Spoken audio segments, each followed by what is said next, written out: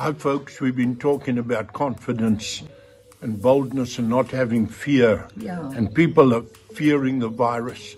The Bible says this plague shall not come nigh thy dwelling. I love that. You need to stand on that. There is no ways that this virus is coming to this house. Amen. You need to believe it for your house.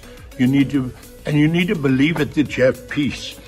And uh, King Hezekiah said this to his people with him, with the enemy, is only the arm of flesh, but with us is the Lord our God to help us to fight our battles.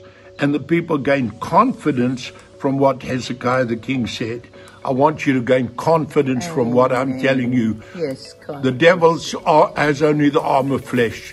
We have the God that created the heavens and the earth. He's on our side. He's surrounding us, covering us, protecting us. Hmm. You are safe, secure, and your future Thank is you. secure in God. Amen. Get confidence from what I've just said.